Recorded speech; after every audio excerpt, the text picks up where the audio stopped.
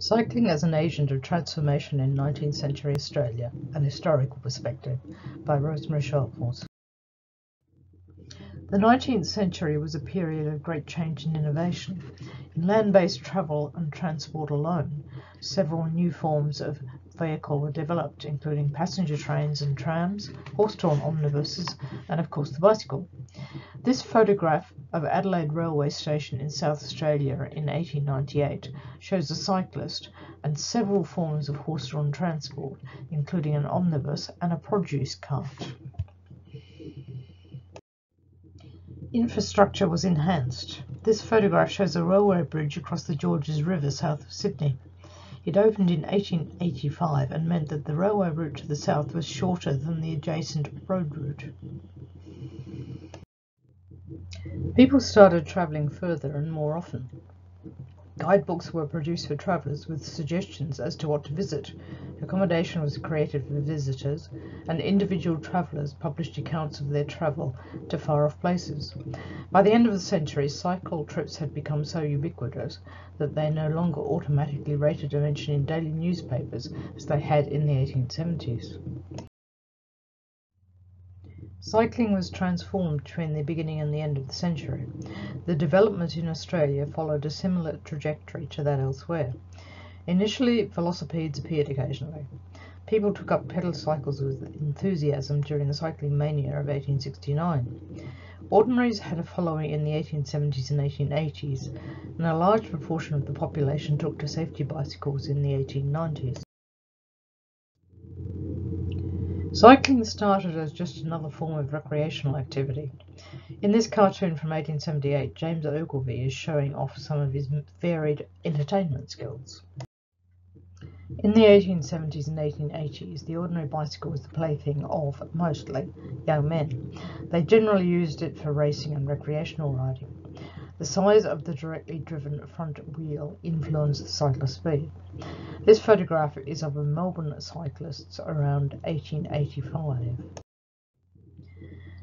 By the 1890s, pneumatic tyres, other technological enhancements, and a different design of frame had changed the bicycle into a machine that was accessible to far more people than its predecessor had been. The original Rover, shown here, with its nearly equal-sized wheels placed close together and chained on one side only, doesn't look quite the same as the modern safety, but it is nevertheless radically different from its forerunners, and it's clear that cycling would be accessible to more sections of the population. For rural workers such as shearers, the safety bicycle, in conjunction with the train and other modes of transport, opened up possibilities for accessing potential employers in the many outback stations needing seasonal workers. The man pictured here is Mr. D. Scully, a shearer's cook in Queensland. He would have travelled hundreds of miles between stations in the outback during the shearing season, carrying his equipment, which included a sausage machine. Some of the outlying mining fields in Western Australia in the 1890s were beyond post and telegraphic communications.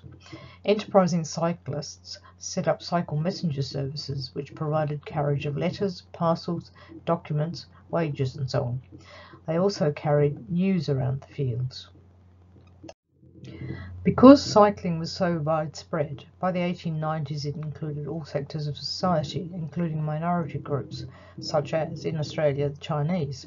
This picture comes from Adelaide in South Australia. The cyclist was probably Mr. L. C. Fong.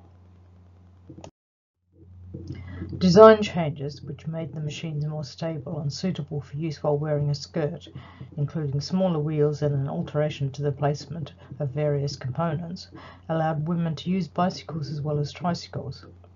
This is a picture of Mrs. Mary Bain Mitchell on her bicycle. For a while, society learned to think bike.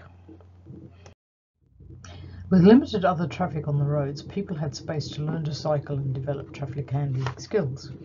This photo was taken in 1898 and shows cyclists outside the Northcote Post Office in Melbourne. Some are riding, but some are merely mounting their machines. With far less need for constant alertness and fewer traffic skills, people were able to discover the, for themselves what cycling could do for them and explore the possibilities.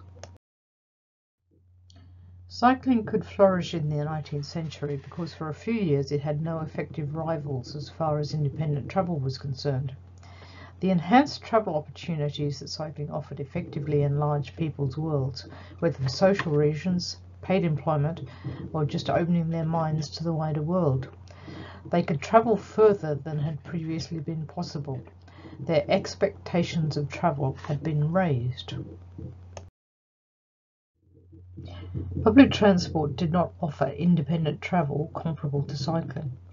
Users had to pay at the point of use and often had to comply with other people's timetables, origins and destinations and routes.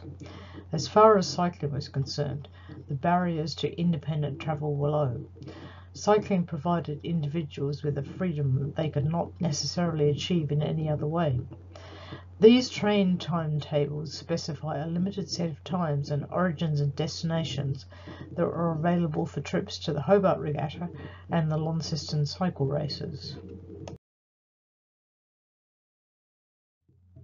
The existing independent form of transport open to nearly everyone was walking, but this did not provide speed or large load carrying ability. Horses provided speed and a certain amount of load carrying, but also cost in terms of time, effort and money for acquisition, feeding, maintenance, special accommodation, and accessories. For a brief period, cycling found a particularly conducive environment.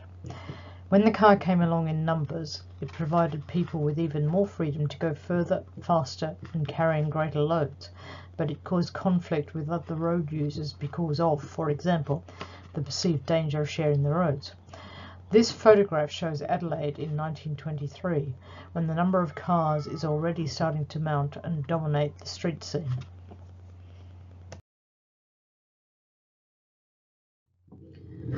In the 21st century, some people cycle because they enjoy it. However, cycling is nowhere near the level of the 1890s. Nevertheless, over the years, certain aspects of cycling have meant that at times it has come into favour again.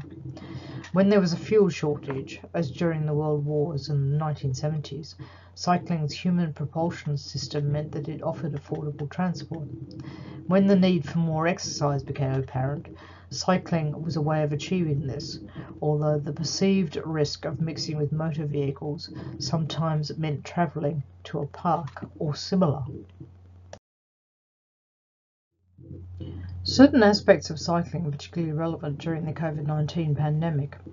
An increase in unemployment and working from home has led to a drop in the number of cars on the road. With fewer cars, there is less perceived immediate danger. Combined with the fear of mixing with other people on public transport, it means that more people have been prepared to get out their bikes when they do need to leave home. Cycling has also provided exercise at a distance. Thus, a positive outcome of COVID-19 in some countries has been to provide a safe space for cycling, starting at the rider's front door. I would like to make one final comment on cycling's contribution to transforming society. It's a quote from the Launceston Examiner newspaper of Saturday, the 29th of April 1899, and demonstrates the power of expectations. It strikes me that invention is the mother of necessity. How do you make that out? Take the bicycle. Nobody needed it before it was invented, and now we couldn't get along without it.